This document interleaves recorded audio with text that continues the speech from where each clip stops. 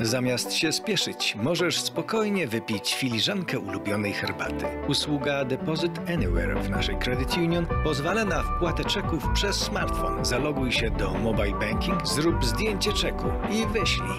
Elektronicznie wysłany czek wpłynie szybko i bezpiecznie na Twoje konto. Deposit Anywhere to wygodne wpłaty czeków przez telefon z każdego miejsca i o każdej porze.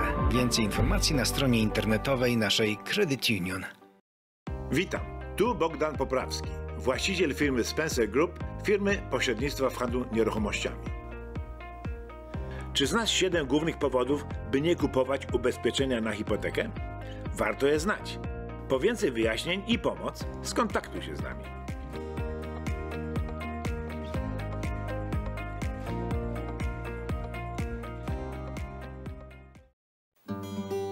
Polska Credit Union przedstawia swoją najnowszą ofertę kredyty dla rolników. Jeśli planujesz rozwój i unowocześnienie swojego gospodarstwa rolnego, zakup nowych maszyn, zwierząt lub innych rzeczy, to skontaktuj się z nami.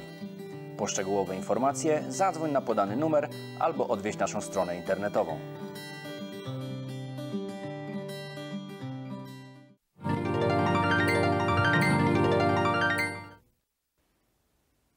Przedstawimy Państwu kolejną prelekcję znakomitego malarza i grafika Leszka Wyczółkowskiego, który co dwa tygodnie prezentuje sylwetki polskich malarzy przełomu XIX i XX wieku w historii sztuki nazwanego okresem młodej Polski.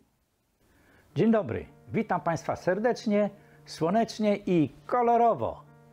Dzisiaj pragnę przybliżyć Państwu twórczość ważnego i jednego z najpopularniejszych malarzy okresu młodej Polski – Juliana Fałata. Julian Fałat urodził się 30 lipca 1853 roku w Tuligłowach. Studia artystyczne odbył w latach 1869-71 w krakowskiej Szkole Sztuk Pięknych.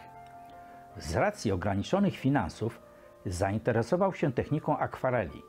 W tej technice został wiodącym artystą nie tylko w Polsce. W 1872 roku Współpracował jako rysownik przy projektach archeologicznych i architektonicznych, a w 1873 roku studiował na Politechnice w Curychu, a następnie w 1877 roku w Monachium. Tam zaprzyjaźnił się z Józefem Brantem. Wiele podróżował, nawet odbył podróż dookoła świata. W latach 1882-86 Związany był ze środowiskiem artystów warszawskich. Współpracował jako ilustrator z czasopismami Kłosami, Tygodnikiem Ilustrowanym i Biesiadą. Tam również przedstawiał sceny rodzajowe z życia Warszawy. W bogatej i różnorodnej twórczości Juliana Fałata sztuka portretowa zajmuje poczesne miejsce i będzie stałym tematem jego malarstwa. Od wczesnych podróży po świecie, aż po ostatni okres życia, jaki spędził w Bystrej.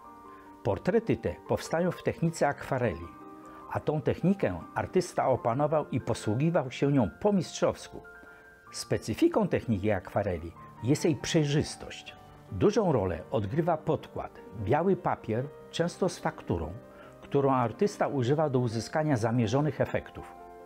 Przenikania i kontrasty rozlewanych plam barwnych, kontrolowanych lub w wielu sytuacjach przypadkowych dają ciekawe efekty a szkicowość i pewnego rodzaju nonszalancja wręcz zmusza naszą wyobraźnię do zagłębiania się w tych magicznych płaszczyznach.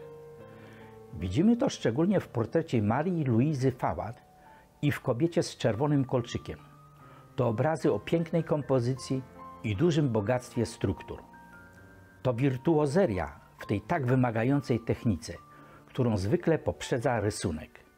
Niektórzy artyści traktują rysunek w tej technice jako silny element współpracujący, wzmacniający ekspresję.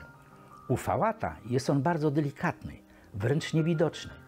W akwareli biały papier spełnia rolę białej farby. To technika, która nie przebacza jakichkolwiek błędów, w której nie ma korekt, przemalowywań i do końca jest nieprzewidywalna. Artysta na podwalinach znakomitego warsztatu w sposób bardzo sugestywny i charakterystyczny tylko dla niego, uzyskuje niezwykłą poetykę przedstawionych postaci. zapisał się w historii polskiej sztuki jako mistrz akwareli. Julian Fałat w swojej bogatej i różnorodnej twórczości darzył pejzaż również wielką pasją. Z wielu jego podróży przywoził prace o specyficznym klimacie, często malowane w wąskim, długim formacie. Są malowane spontanicznie i luźnymi pociągnięciami pędzla. Oddają atmosferę i nastrój miejsca i czasu.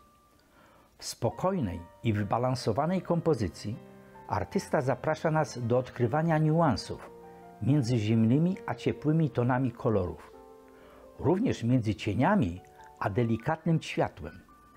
Julian Fałat od 1886 roku spędził 10 lat na dworze cesarza Wilhelma II w Berlinie. Tam malował sceny z polowań.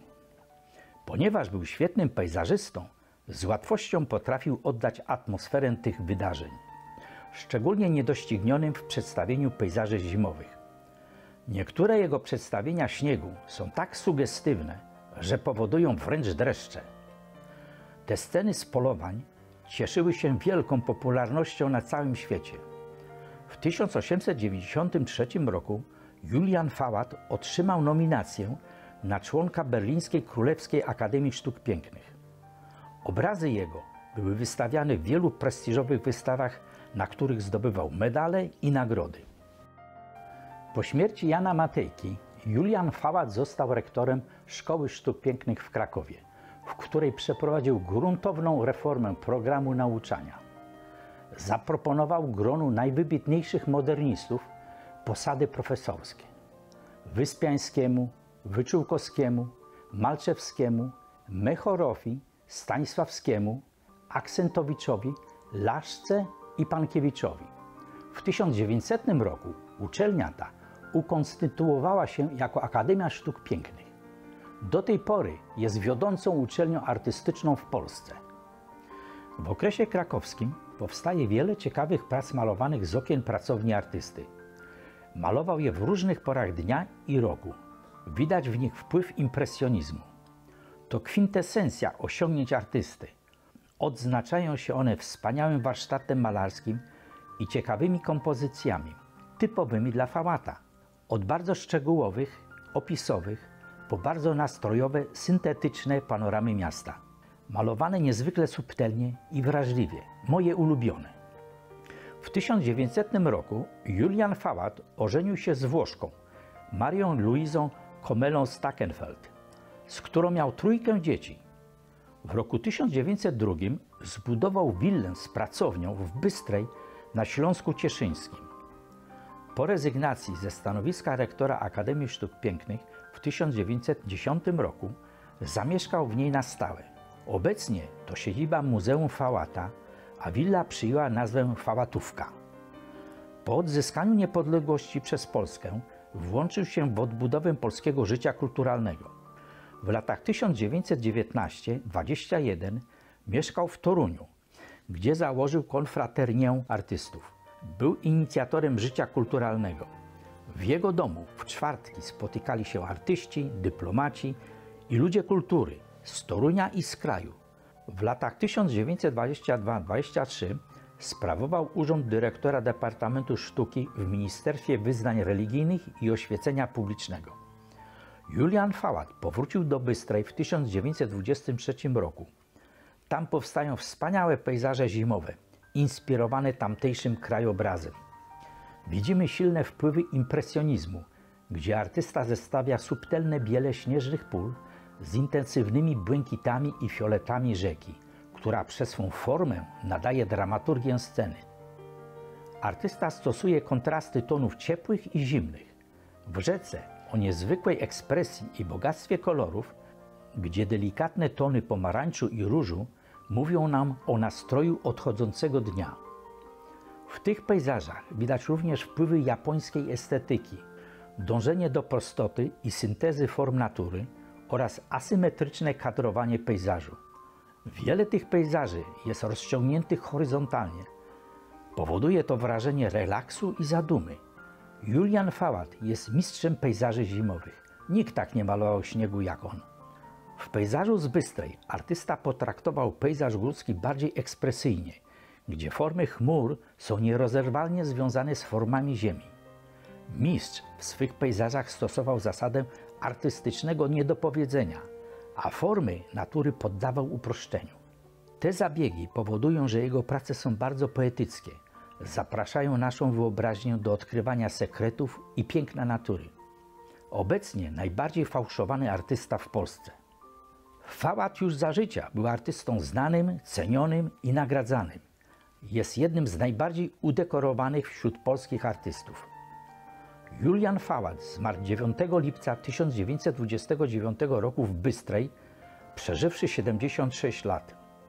Pozostawił po sobie wspaniały dorobek artystyczny, który wzbogaca i jest dumą naszych narodowych osiągnięć kulturowych.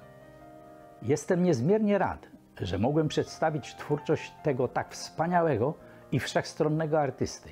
Zapraszam Państwa do odwiedzin polskich muzeów, skarbnicy naszej narodowej historii. Dziękuję Państwu za uwagę. Do miłego!